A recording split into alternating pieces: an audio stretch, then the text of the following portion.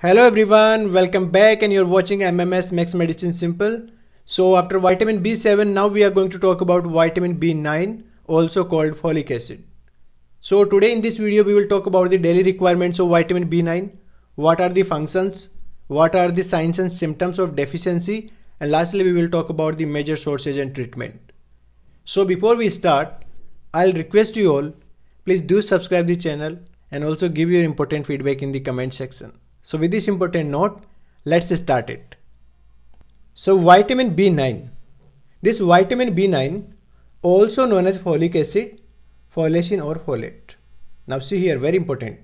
This folacin or folate this is the natural form of vitamin B9 which is found in various foods right and this folic acid this is something what we eat in the form of tablets right now we all know that vitamin b9 belongs to water soluble vitamins right? And this is also one yellow crystalline substance biochemistry.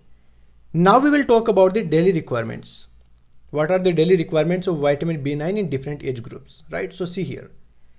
For one healthy adult the daily requirement is 200 microgram. For one pregnant woman the daily requirement of vitamin B9 is 500 microgram, very high. And for lactating mothers, the daily requirement is 300 microgram.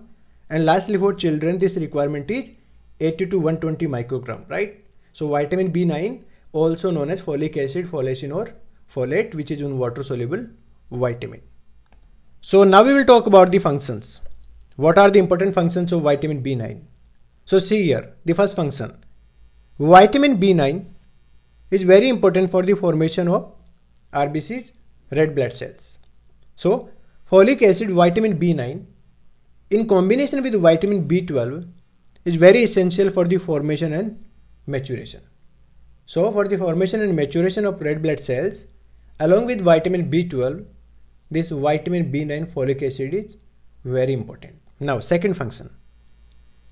For the proper functioning of nervous system, Again, vitamin B9 is very important because it's very necessary for the growth and division of all body cells. Right? Now, third function. Again, this vitamin B9 is very essential for the health of skin and hairs. Fourth function. Pregnancy and vitamin B9. So, for one pregnant woman, this vitamin B9 folic acid is very important. How? Because this vitamin B9 it's an important nutrient for the pregnant women and also for her developing fetus. Not only this, this folic acid also improves lactation.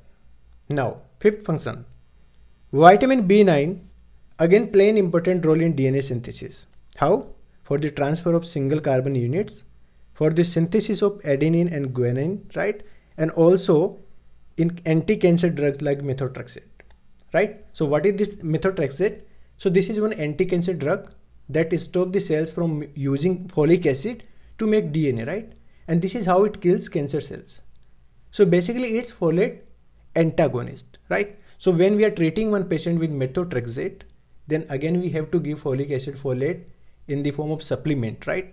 Now last, vitamin B9 again very important for the metabolism of homocysteine amino acid, right? And lastly for the formation of neurotransmitters right so these are the important functions of vitamin b9 folic acid so now we are going to talk about the deficiency what are the most common signs and symptoms of vitamin b9 deficiency right? So see here. The symptoms of folate deficiency are often subtle and they include fatigue gray hairs mouth sores swelling of tongue and growth problems right? Now see here.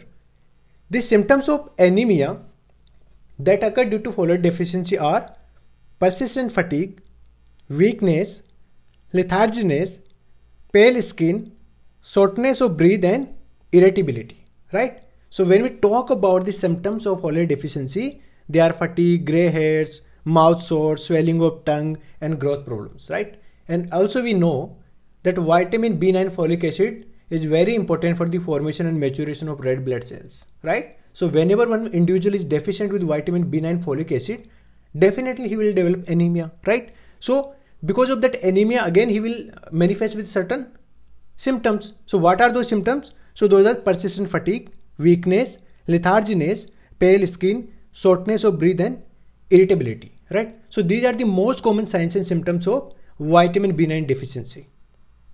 So after signs and symptoms, we will talk about the sources. What are the major sources of vitamin B9?